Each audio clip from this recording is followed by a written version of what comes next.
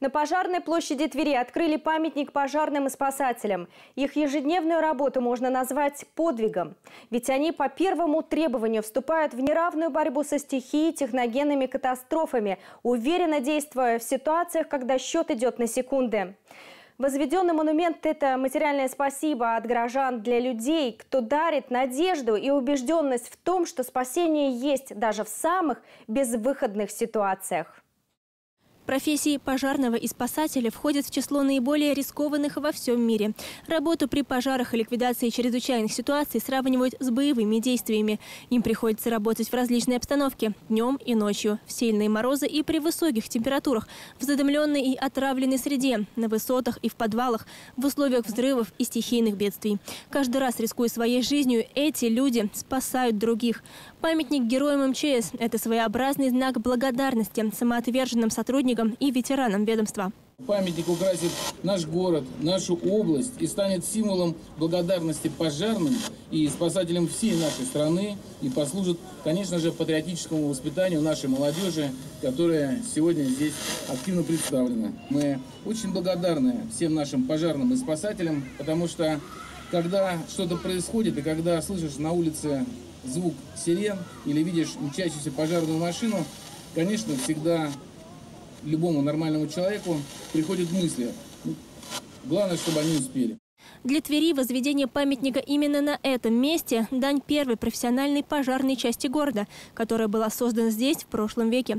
Кроме того, Верхневолжье отметилось еще одним передовым по тем временам решением в борьбе с пожарами. Тверская область всегда была центром общественных инициатив по развитию пожарного дела.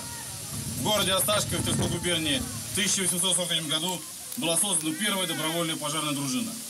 Преемственность – одна из ключевых идей, отраженных скульпторов.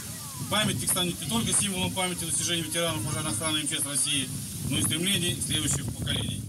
По композиции памятник не имеет аналогов в России и, безусловно, украсит Тверь. Впрочем, внешний вид пожарного очень напоминает героев монумента огнеборцам Москвы, установленным в столице на улице Причистенко в апреле 2018 года. Схожесть фактуры московских пожарных с тверскими огнеборцами неудивительна, ведь автор у памятников один – скульптор Евгений Тетерин, член Союза художников Москвы, старший преподаватель Московского художественного института имени Сурикова. Он поделился с нами, что в детстве пожарный надел на него него свой защитный шлем, и это стало одним из самых ярких воспоминаний юного скульптора. Я вспомнил это ощущение детское, вот этого кокона, вот этого, вот этого сберегательного какого-то колпака внутри. И я именно его хотел показать. То есть, когда вы посмотрите на памятник, это такой, это такой колокол, внутри которого есть жизнь, и все идет, весь центр композиции закручен вокруг кисти пожарного.